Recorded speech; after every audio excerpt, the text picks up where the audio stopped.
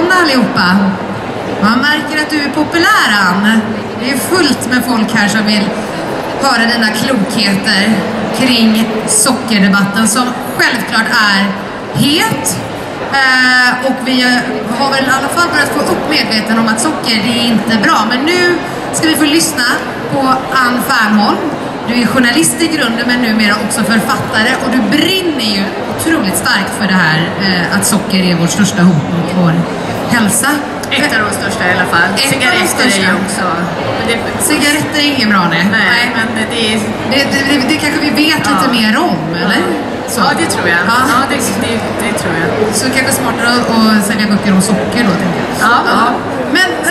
Jag är lite nyfiken. Hur kom det sig att ditt, eh, det här, den här liksom, kampen mot sockret började hos dig? Vad var det som hände? Ja, men det var egentligen... Alltså jag blev journalist för att jag vill granska forskarvärlden. Jag disputerade 2001 vid Uppsala universitet och jag tyckte forskare kunde överdriva resultaten av sina teser rätt ordentligt. Då ser man inte minst med Macchiarini-affären behovet av vetenskaplig granskning. Så. Och då, den här resan påbörjade jag våren 2009. Då intervjuade jag en kvinna som har typ 2-diabetes. Hon berättade för mig om dagen när vågen stod på 100 kilo. Hon var beroende av ganska stora doser insulin för att försöka ta ner sitt pendlande blodsocker. Topparna låg uppåt så här 18. Vi ska helst aldrig gå över 8 på en dag. När man hamnar uppåt 18 då vet man att ögon och njurar tar skada, åderförkalkningen accelereras. Hon kände att det var ganska hopplöst. Hon visste inte vad hon skulle göra och gick bara upp och upp och upp i vikt och nu vägde hon 100 kilo. Hon kände inte igen sig själv i spegeln. Du kan ut på internet, insåg att det finns människor som hanterar sin diabetes med hjälp av en strikt lågkolhydratkost. Man tar bort ris, pasta, potatis, alla sötsaker. Och hon gjorde det. På två dagar kunde hon lägga bort sina insulinsprutor. Blodsockret gick ner och la sig på en låg och jämn nivå som hos en frisk människa. Och sen började hon rasa i vikt. Hon gick ner över 40 kilo i vikt inom loppet av två år. Och hon berättade för mig att hon blandade grädde och crème fraîche som fint till frukost. Och det här är ingenting jag känner att jag måste rekommendera. Men eh, vi har alla lärt oss, man ska inte kunna blanda grädde och crème fraîche som fint till frukost och rasa i vikt, eller hur? Det talar emot hela vårt så kallade kostparadigm. Och det var hennes berättelse som fick mig att börja ifrågasätta vad jag har lärt mig under min utbildning i biokemi. Och, och det resulterade i min första bok också. Ett sötare blod om hälsoeffekten av ett sekel med socker. Där jag satte mig in i liksom kosthistorien. Hur har våra kostråd formats? Var kommer de ifrån? Och så. Det var ju då 2009. Eh, sen är det ju liksom, känns det som den här Ja, sockerdebatten nej, men har jag skrev ökat den här boken. Ja, men när jag skrev den här boken då insåg jag så här, nej, men det verkar vara skillnad på hur kroppen tar hand om stärkelse, det som finns i ris, pasta och potatis, och hur kroppen tar hand om det vita rena sockret. Och det är det jag berättar om i det sötaste vi har om socker och växande kroppar. Och den är ju skriven för jag tycker att vi ska, vi måste liksom se till att våra barn får en bra hälsa. Idag fetmopererar vi barn innan de ens är 18 år gamla Det finns det barn som får friska delar av sin kropp bortskurna för att vi vuxna inte ser till att ge dem ordentlig och riktig mat utan vi ger dem väldigt mycket socker. En femtedel av alla barn har övervikt eller fetma och det är alldeles för mycket och vi ska inte vandra i fotspåren av USA. Så det här- jag ska ja. låta dig prata vidare Ja. fritt där och, och lä- lämna scenen till det. Men det är som egentligen var min fråga var, för nu, det har ju pågått ett tag och vi, Ja. vi börjar förstå socker och vi liksom, att det är farligt och sådär.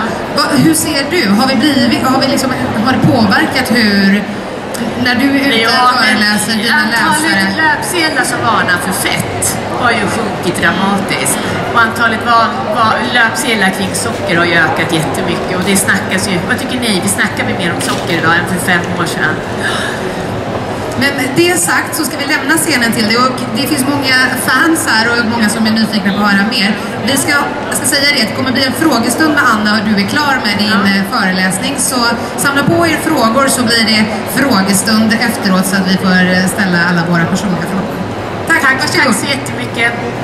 Jag ska säga också när jag står här att den här, när jag skrev det sötaste vi har eh, och, och insåg då att vi måste dra ner på mängden socker i maten till våra barn radikalt. Då började jag tänka så här, nej men men hur ska vi få barnen att äta då? Om de inte kan få så här supersöta flingor och sötad yoghurt till frukost, hur får vi i dem frukosten när vi står där stressade på väg till dagis? Ja, då visar ju forskningen att det är jätteviktigt att vi smaktränar våra bebisar. Första årets ätträning är jätteviktigt för att man ska lära sig lite beska smaker, sura smaker, man ska känna, känna konsistensen av lite slime äggröra i munnen, av leverpastej och andra saker. Och det här måste vi göra när de är bebisar. För när barn blir ett och ett halvt, två år gamla så blir de vad forskare kallar för neofobiska. Man blir kräsen för ny mat. Och det är en naturlig del av utvecklingen för att barnen när vi var jägare och samlare inte skulle springa iväg från hemgrottan och stoppa liksom, giftig flugsvamp i munnen. Man skulle inte vilja äta okända saker då. Och om vi då inte gör maten känd för dem innan de blir ett och ett halvt, två år gamla, då är det väldigt svårt att få barn som äter mycket mat. Hänger ni med? Så det här tycker jag är jätteviktigt att det kommer fram till de som har bebisar. För jag gjorde alla fel man kan göra. Så det här är den bok.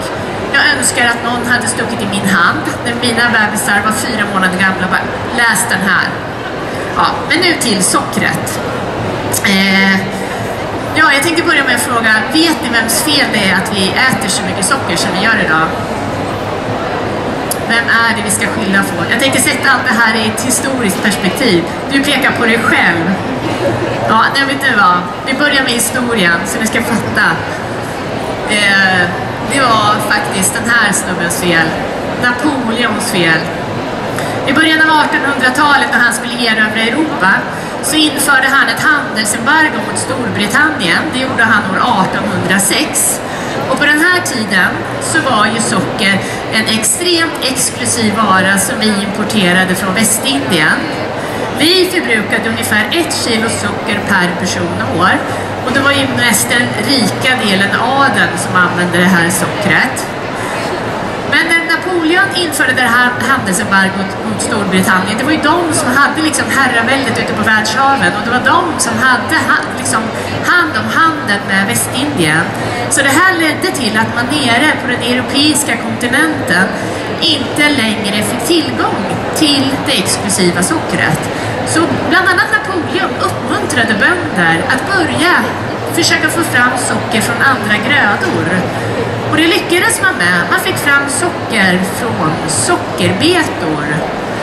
Och de växer ju på nordliga breddgrader.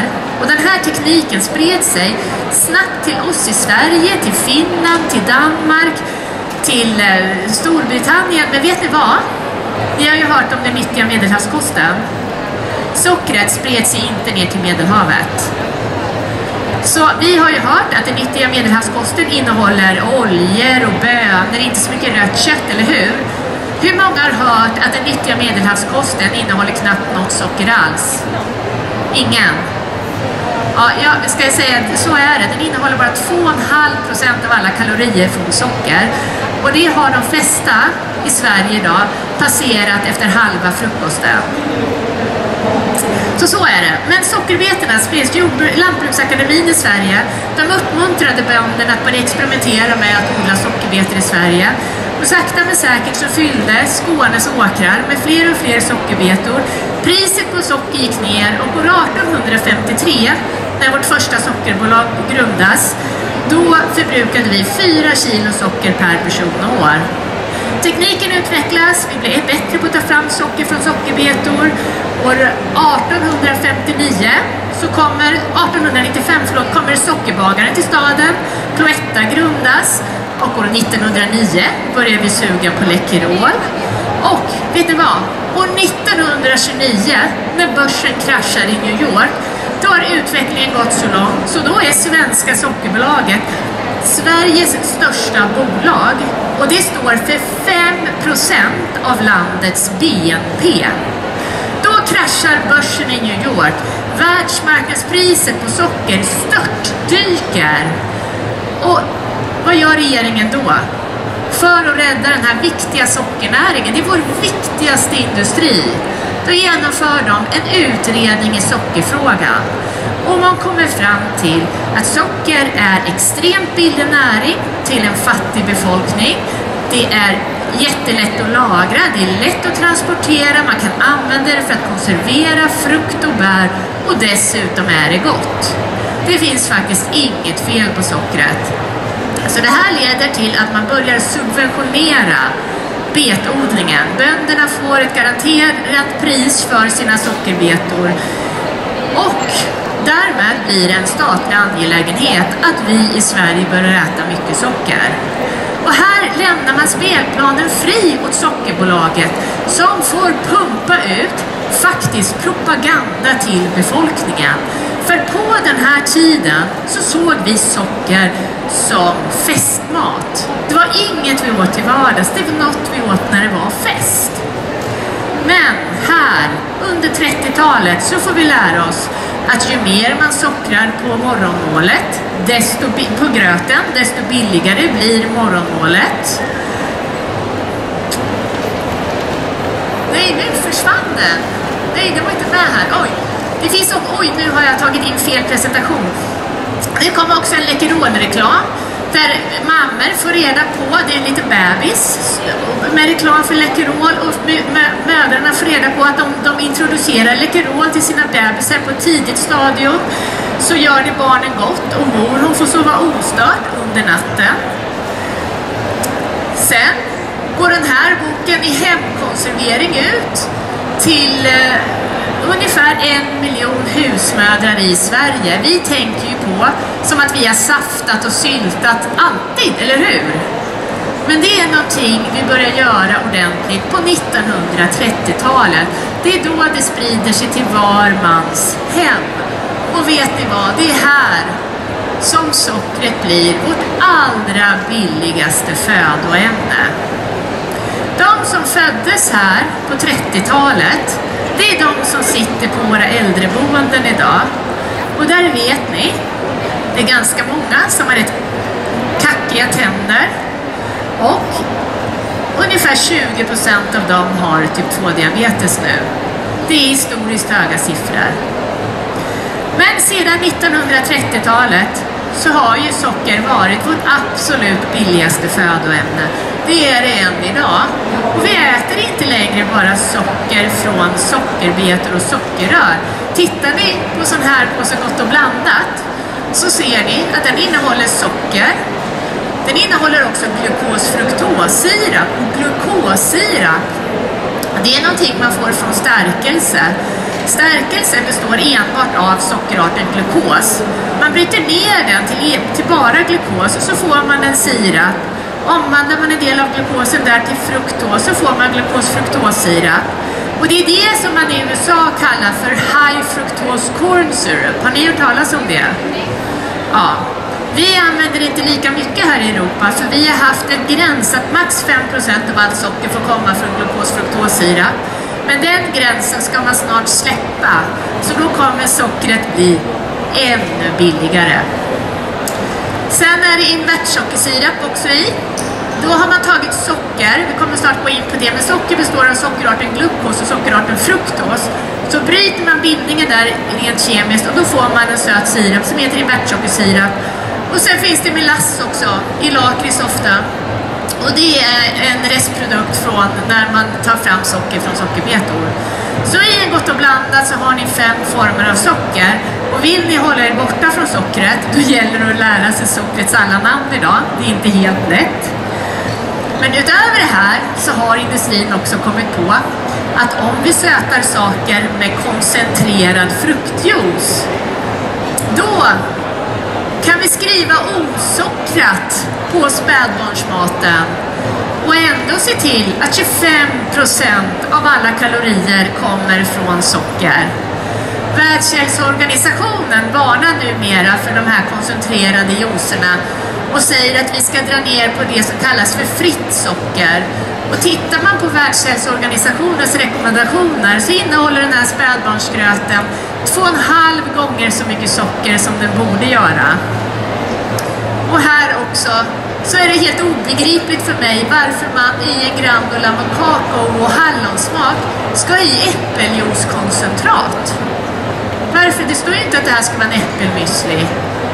det är ju säkert, tror jag, för att müsli ska smaka lite sötare och lite godare. Och använder man då, koncentrerar man ner juicet från ett äpple istället för att koncentrera ner det från ett sockerrör så kan man skriva Inget tillsatt socker på förpackningen. Jag vill tillägga att den här müslin är inte jättesöt. Det är själva principen som irriterar mig. Den här spädbarnsgröten, den är jättesöt. Den ska man absolut inte ge till sina spädbarn.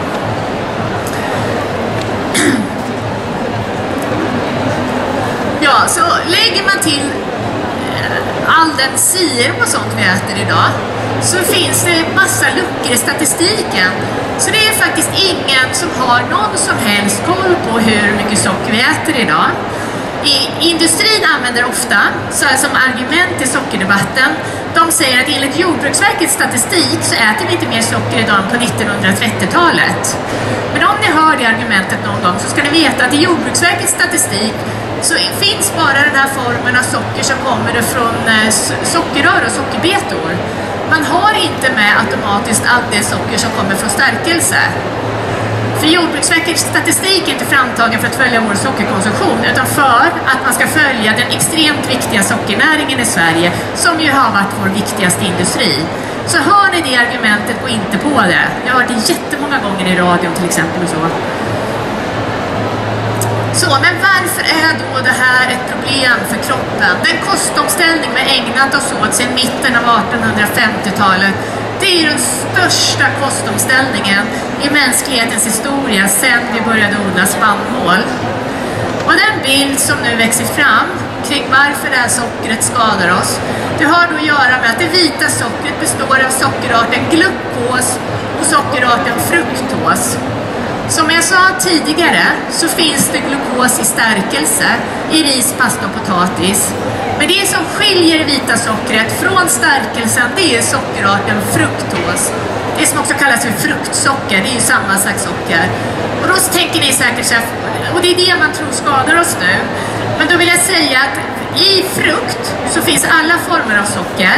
Och om ni jämför en Gott och blandat med, om ni äter en sån här påse Gott och blandat, ungefär 160 gram innehåller den, gelégodis. Då får ni i er lika mycket fruktos som om ni äter sex äpplen. Eh, och hur länge dröjer det, om ni köper sex äpplen, hur länge dröjer det då innan ni har käkat upp de äpplena? En timme? Uff, det var det snabbaste. De flesta brukar säga så här, tre till sex dagar, eller hur? Om ni köper en påse Gott och blandat, hur snabbt äter ni upp den då? Ja, några ungdomar sa fem minuter till mig en gång. Och det kan ju faktiskt vara, jag tänker att jag tar oftast en halvtimme eller en timme. Men här kommer poängen, för jag varnar inte med frukt. Blanda inte ihop fruktsocker med att frukt skulle vara farligt. För när vi äter frukt, då går det mycket långsammare. Och om ni lyckas klämma fem, sex äpplen inom loppet av fem minuter, då får ni i er massa fibrer som gör att ni blir mätta.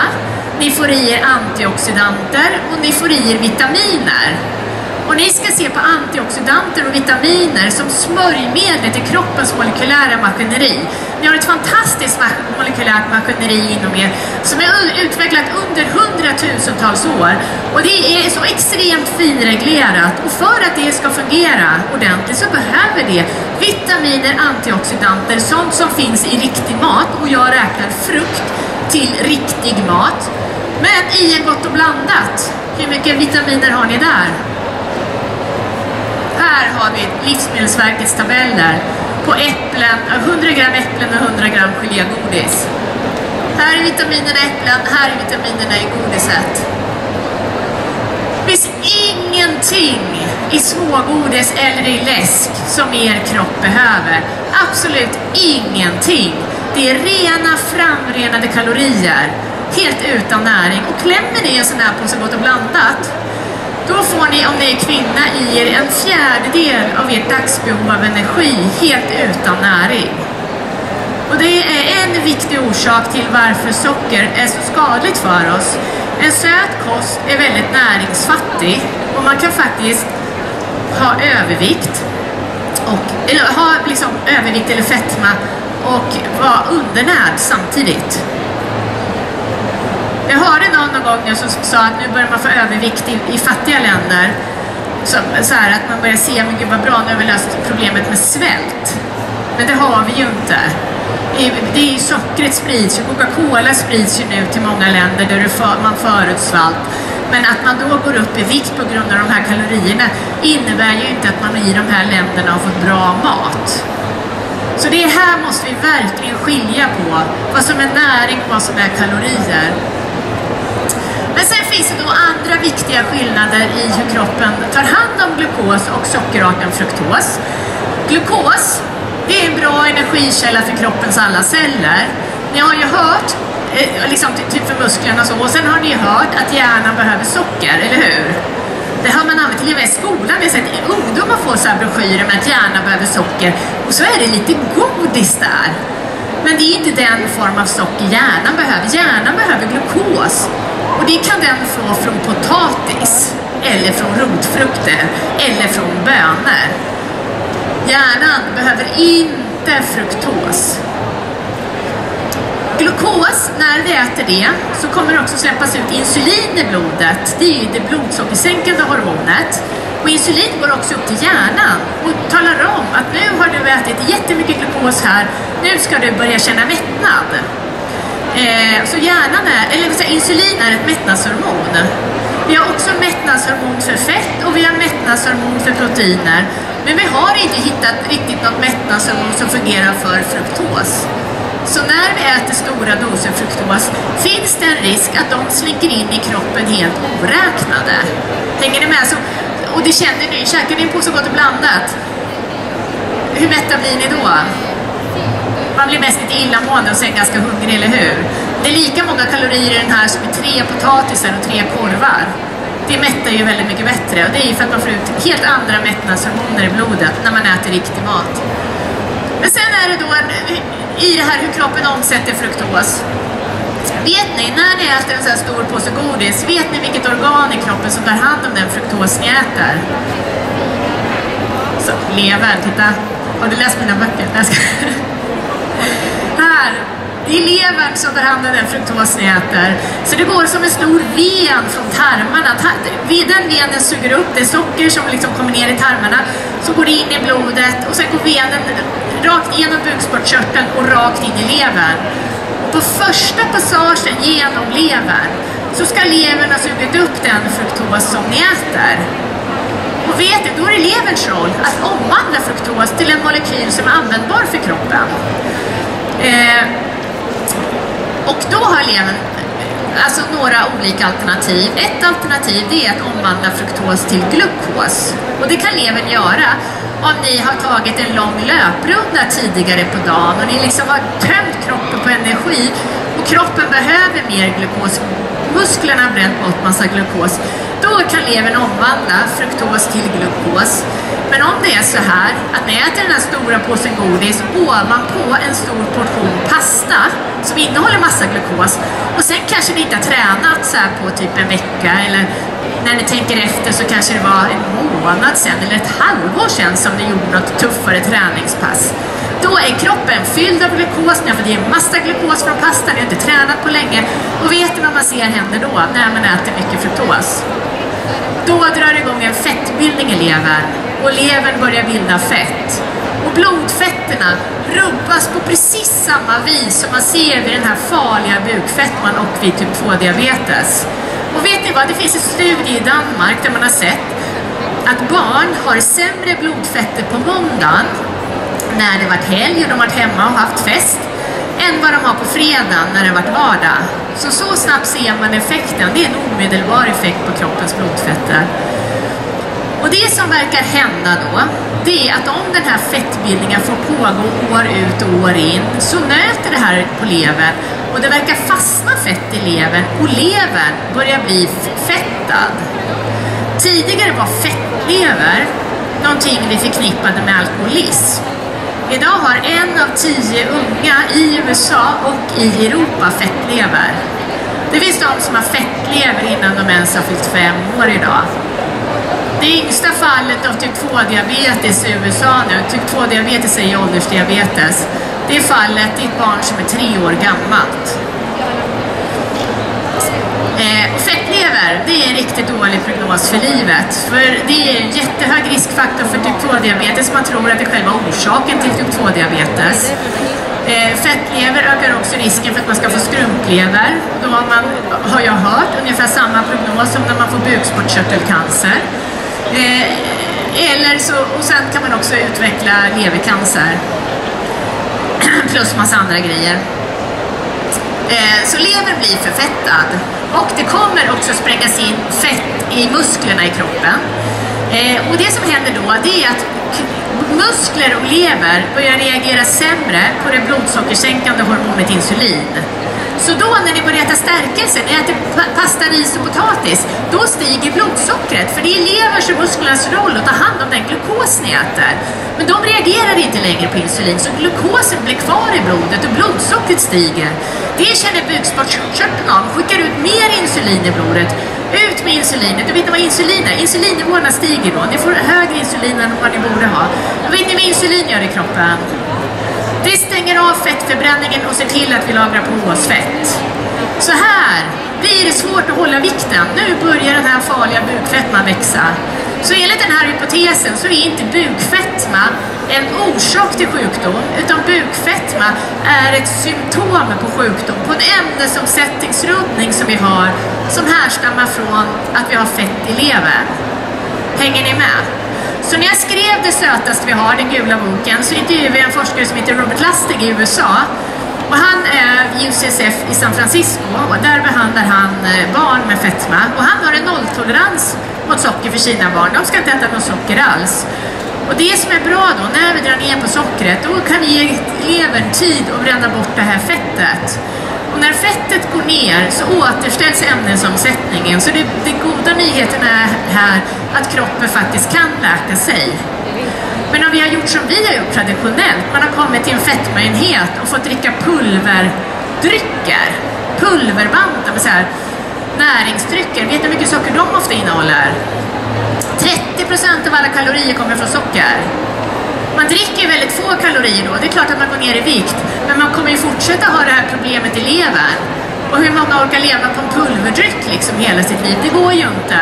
Så då kommer man börja äta och alla säger så här, ja men det är okej med lite socker. Det är synd om människor som inte får äta socker, eller hur? Ja, och då kommer vi inte bort från det här problemet och då kommer man gå upp i vikt igen.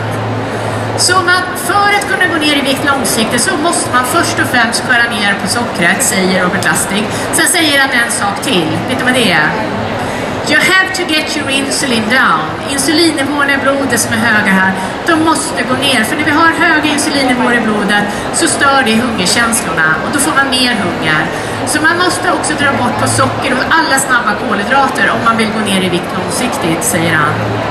Men när vi då är inne i den här ämnesomsättningen då, är, då har man höga eh, blodsocker och höga insulinnivåer i blodet. Och det är en varningsklocka, för det är kopplat till precis alla stora folksjukdomar. Typ 2-diabetes är ytterligheten på det här. Sju av tio som kommer till vården med hjärt-kärlsjukdom har ett högt blodsocker. Har problem att reglera blodsockret. Och sen där kommer jag gå in lite mer på, jag sa här att man har höga insulinnivåer i blodet. Insulin är en tillväxtfaktor i kroppen. Det triggar tillväxt. Man vet att många cancerceller har mottagare på sin yta. Där insulin, när det träffar cancercellen där så triggar insulin igång tillväxt. Nästan alla molekylära mekanismer man ser triggar igång cancerceller är kopplade till hur insulin påverkar cellen. Och också en, en tillväxtfaktor som heter insulinliknande tillväxtfaktor 1. Så eh, när man läser alla översiktsartiklar kring cancer så är ju efter rökning är ju fetma den viktigaste riskfaktorn för cancer. Visste ni det? Det är många som inte vet. Och då är det en av de viktigaste förklaringarna, det finns många förklaringar, men nästan överallt så är det att man har höga insulinnivåer i blodet och det driver cancertillväxt. Och sen demens där börjar man allt oftare se nu att demens är jättestarkt kopplat till både typ 2-diabetes och hjärt-kärlsjukdom. Och då har man tagit ut hjärnor från människor som just har avlidit i Alzheimers och de har sett att hjärnan är insulinresistent. Så hjärnan reagerar inte längre på insulin som den ska, precis som lever och muskler har slutat reagera på insulin. Och insulin är som typ ett chefshormon i kroppen. Insulin har massa olika liksom, funktioner. Och en funktion med faktiskt att insulin är viktigt för minnet. Insulin gör också att nervcellerna tar upp glukos från blodet och, och då behövs ju insulin för att nervcellerna ska få, få den energi de behöver. Så då kan man se att när man har typ 2-diabetes så kan man faktiskt se att en viss del av hjärnan krymper lite. Man får en sämre nervcellsbildning i hjärnan. Och det här är också, hippocampus heter den delen, den krymper också när man får Alzheimers. Typ 2-diabetes ser man är en jättestor riskfaktor för att utveckla demens och det finns faktiskt vissa forskare som nu vill kalla Alzheimers för typ 3-diabetes. Och sen är allt det här också kopplat, det här leder till inflammation i kroppen som också är kopplat till en ökad psykisk ohälsa. Sannolikt för att hjärnan mår helt enkelt inte bra när man är inne i den här. Det här leder till en extremt rubbad ämnesomsättning. Så det här är ju ingen munter historia, eller hur?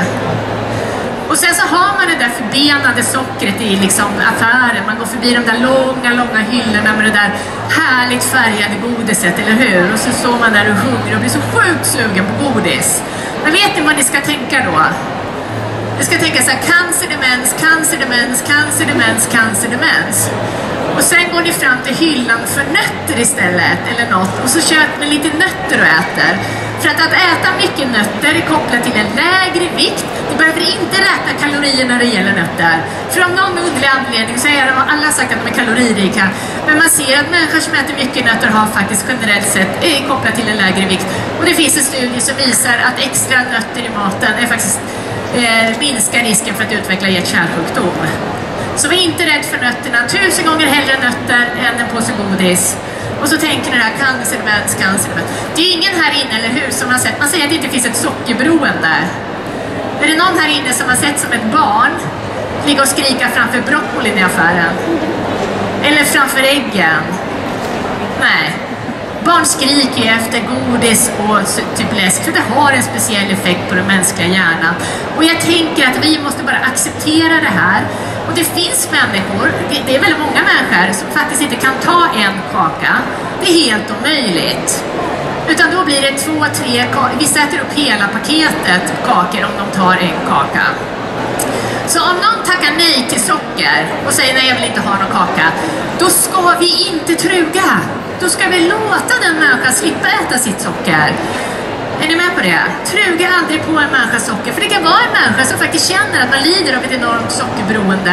Ni skulle aldrig truga på en rökare som just har slutat röka en cigarett. Och en alkoholist som har slutat dricka, trugar inte på en snaps. Och man trugar inte på en människa som vill gå ner i vikt lite socker. Så är det. Eller som vill behålla sin hälsa. Och sen vill jag poängtera en annan sak när jag har den här bilden uppe. Att vi tänker ofta på Eh, som jag sa, det här gör att vi går upp i vikt. Men det här kan faktiskt hända utan att man går upp i vikt. Människor kan ha fett insprängt i kroppens organ helt utan att det egentligen har synts så vidare värst mycket på vågen. 20% av alla som har typ 2-diabetes har normal vikt. Ungefär 40% av alla som har övervikt har en helt frisk ämnesomsättning. Så man kan gå upp i vikt utan att det här händer i kroppen. Men det är det här som är den viktiga riskfaktorn för hjärt-kärlsjukdom, cancer och demens. Så det är det här vi måste fokusera på. Vi har stirrat oss alldeles för mycket blinda på vikten. Utan det är ner med blodsockret och ner med insulinnivåerna. Hur länge har jag pratat nu? Ja, men hur vet man att det här händer då? då? Man har sett i djurstudier, ger man möss fruktos utvecklar de sjukt effektivt fettlever. Man har sett det i hundar, man har sett det i primater. Och sen finns det en dansk studie där man har jämfört att dricka en liter Coca-Cola varje dag under ett halvår. Och det ser många ut så här, en liter Coca-Cola varje dag under ett halvår. Det är jättemånga ungdomar som dricker en liter Coca-Cola varje dag. Sen när man tittar på folk som har fått dricka en liter mellanmjölk varje dag under ett halvår. Det är exakt samma mängd kalorier, men i form av mjölk. Och sen när man dricker en liter vatten och en liter lightläsk varje dag under ett halvår. Och här ser ni vad som händer med mängden fett i levern. Läsken ledde till en 140-procentig ökning av mängden fett i levern. Mellanmjölken, faktiskt till och med lite fler kalorier varje dag. Ingen som helst effekt på mängden fett i levern. Den gruppen gick upp i vikt, men man fick inte det här farliga fettet som sitter insprängt i kroppens organ. Här har vi lightläsken och vattnet. Här har vi mängden fett insprängt, det farliga bukfettet. Går upp med Coca-Colan, händer inget med lightläsken, eller med mjölken, eller med lightläsken eller med vattnet. Och i mjölk är det ju det här farliga mjölkfettet. Men ni ser, det har ju ingen som helst effekt på mängden fett i levern.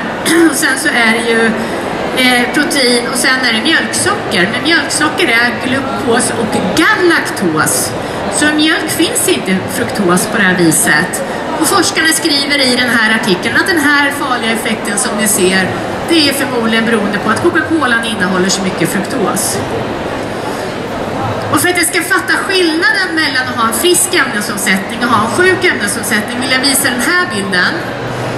Eh, jag gjorde ett experiment tillsammans med Kerstin Brismar som är professor i diabetesforskning vid Karolinska institutet. Oj, oj, nu har jag pratat. Oj, jag pratar för noga, för länge här nu. Vi åt en stor eh, påse, vi åt en stor tallrik godis och drack en stor Coca-Cola tillsammans. Eh, och hon mätte hur mycket sockret steg i vårt blod. Mitt glukos gick upp så här. Jag tränade väldigt mycket under den här tiden, det är bra skyddsfaktor mot socker. Hennes glukos gick upp så här mycket och hon hade därmed eh, prediabetes. Men här ser ni skillnaden i insulin när man har det här farliga eh, ämnesomsättningsstörningen som man kallar metabolsyndrom.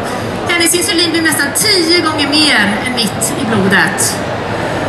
Och som den professor i diabetesforskning hon var så visste inte hon om det här. Så hon gick hem till sin man och sa aldrig mera socker. Och han sa, och så får du sluta, börja motionera också. Så, så det här är skillnaden mellan att ha en frisk ämnesomsättning och ha en sjuk ämnesomsättning. Och nu hade jag tänkt säga bara vad som händer i huden.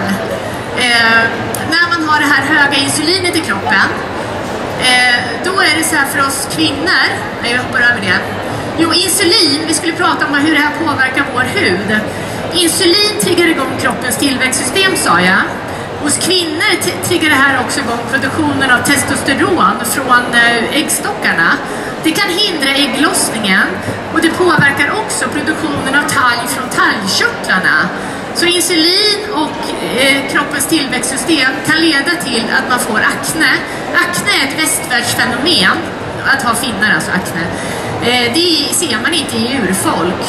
Och det här är en studie från 2007 där man lät unga killar med akne äta en GI-kost, en kost med lågt glykemiskt index, bara långsamma kolhydrater och ingen socker. Och då läckte deras akne ut, på 12 veckor läckte den ut bättre än i kontrollgruppen som fortsatte att äta som vanligt. Så det är en jättevanlig berättelse för lågkolhydratrörelse. Man går på en lågkolhydratkost för att gå ner i vikt eller för att hantera sin diabetes. Och så får man bra hud på köpet. Och en annan sak, de här höga glukosnivåerna i blodet, det har man ju ofta som om man har diabetes, men vi har det jätteofta om vi äter en jättestor påse godis. Glukos, när blodsockret stiger, klistrar sig spontant fast i bindväven. Det sätter sig på hemoglobinet, då mäter man hos diabetiker, det är deras långtidsblodsocker, det är mycket glukos som sitter på hemoglobinet. Men det sätter sig också överallt i kroppens bindväv, i huden och i brosket. Och det här är samma reaktion, samma kemiska reaktion som när Coca-Cola blir brunt. Och då kan man se i brosket att om man har ett högt blodsocker under livet så brunar brosket. Det här är brosk från människor av olika åldrar. Och här ser ni att ju äldre vi blir, desto brunare blir brosket. Och det här kallas för Advanced Glycation End Products. Och det händer snabbare om man har diabetes, och det händer snabbare om man oftare har ett högt blodsocker. Och brosket har, bindväven i brosket, kollagen där, där det här sätter sig, har en halveringstid på 117 år. Så det höga blodsocker ni har haft hittills under livet, det sitter spår av det i ert brosk. Det här är skälet till att mina barn inte alls får äta jättestora doser socker. De får bara äta små doser så deras blodsocker inte far i höjden. Och vet ni vad, det här händer i huden också. Det sätter sig något som heter de här Advanced Glycation End Products i huden. Då har man ju utvecklat svindyra hudkrämer. Jag tror den här kostade så här typ 1300 spänn eller något. Eh, som ska hindra de här reaktionerna i huden när socker sätter sig i kollagenet och gör att vi blir rynkiga, för kollagenet blir mindre elastiskt då. Och då tänker jag att ni vet det här, ni behöver inte några sådana här anti-age, Advanced Glycation End product står det här för, AGE. det behövs inte, utan ni kan eh, eh, bara låta bli att äta så mycket socker, så slipper ni det här. Ja, jag vill bara visa här, i Gott och blandat, så är det... Eh, Pränta in den här bilden, 32 sockerbitar. Det är liksom era tre dagsbehov av socker på en enda påse. Och sen vill jag bara avsluta med att säga att jag är så frustrerad efter att ha granskat kostforskningen under så många år att man använder det till så få behandlingar i vården. Så därför har jag varit med och grundat en fond för kostforskning som heter Kostfonden där vi satsar på bättre kostforskning, på att se till att det kommer fram nya kostbehandlingar i vården som sänker insulinet och sänker blodsockret bland annat. Till exempel som behandling mot akne kan man behöva. Så ni kan gå in och läsa om oss på vår hemsida, jag har lite broschyrer där också. Så om ni som vi tycker att det här med att få bra behandlingar i vården är viktigt så stöd gärna oss. Och sen vill jag säga som Carl von Linné, undvik socker till dagligt bruk. Och det är inte vardag bara för att det är lördag. Eller det är inte fest för att det är lördag. Så, är ni med på det? Det var mitt. Nu drog jag över. bara. Det är ingen fara. Du är så, du är så engagerad och det är helt underbart. Och det engagerar mig på djupet. Gör det det? Ja, alltså nu får man ju, nu fick jag liksom argumenten. Ja. Man vet ju att jag inte Får ska får jag äta så ge ett mycket bra tips också nu? Ja, det var mitt- Pepparkakor och så. Vet ni vad ni gör? För alla vill ha pepparkakor. Bara halvera mängden socker. Det blir lika gott ändå. Alla julkakorna nu, halva mängden socker om ni bakar sånt. Ja. Ja, men för det var det jag satt och tänkte på. För då, okej, jag kanske kan hoppa över den här gott och blandat-påsen så. Ja. Men samtidigt så finns det ju liksom ändå saker som man vill ha. Hur, tänker, hur ska jag tänka? Är det så här 80-20-regeln typ? Om jag är, lever väldigt sunt och lite LCHF och tar bort allt socker i vardagen så kan jag unna mig något på lördagen eller? Ja, det beror ju på. Alltså, vissa klarar ju faktiskt inte att äta lite socker på lördagen, för då äter de socker hela veckan. Så det får man ju känna efter själv vad man klarar. Liksom. Att om man inte klarar att äta en godisbit, för då är man fast i sockerträsket, då ska man inte göra det. Jag är en oerhört disciplinerad människa. Ja, det, Nej. det är bra. Nej, men alltså när det är jul, det är klart, jag, jag, jag äter ju någon pepparkaka, men inte alls lika mycket som förut. Liksom. Så smaka och ta en och så... Ja, man kan det liksom. Det finns ju vissa som faktiskt kan det. Som, som, då fastnar de i det här i ett halvår liksom. Går upp 20 vik- kilo i vikt. Ja, så det beror lite på Det vad, beror på vad, vilka man är. Jag vill inte säga att alla ska göra likadant. Man måste göra det som man själv känner att man kan hantera. Jag tror säkert att det är några som vill ställa några frågor från publiken om vi hinner med det. För Ann kommer också här sälja sina böcker. Jag tänker att många av er har läst dem, men för, eh, de, det finns ju tre böcker. Här har vi en fråga. Vi ser för att hålla. Um, hur kan man mäta fettlever?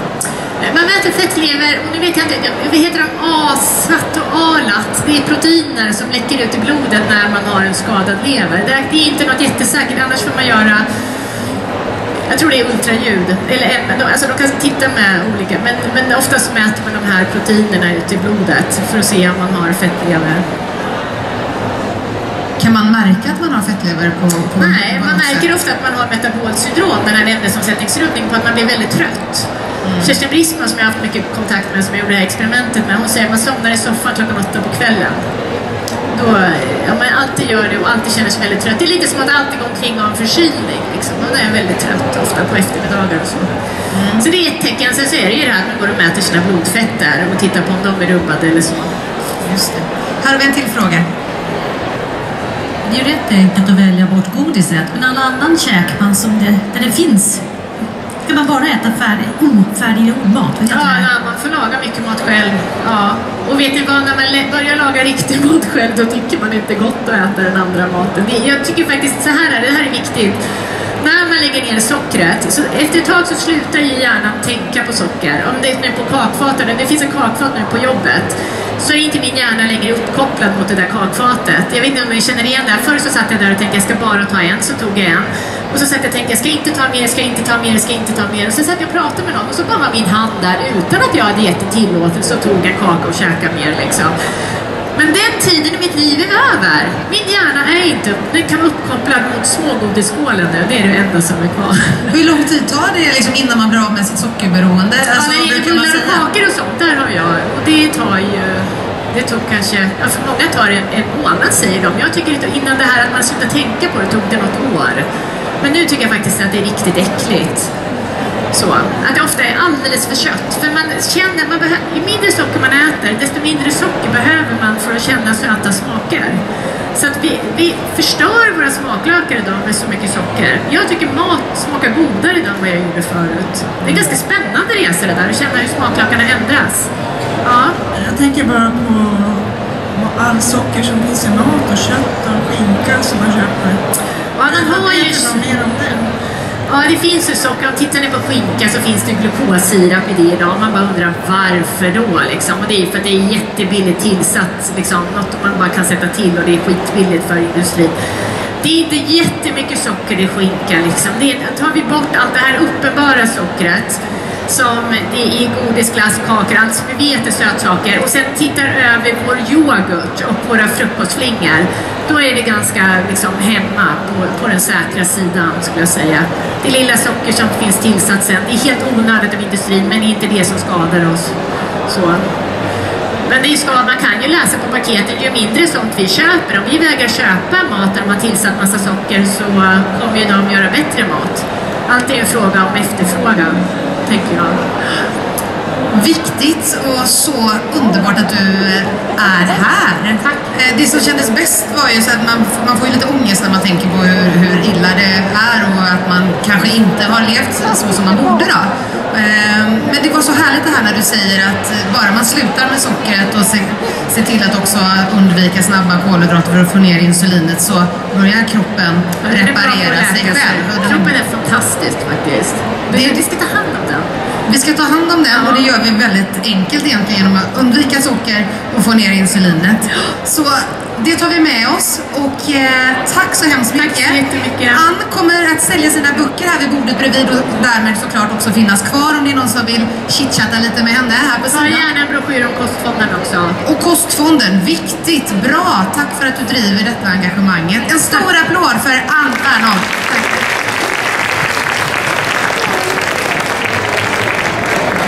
Ja, det ska jag göra. Så, ni som vill köpa böcker och sedan komma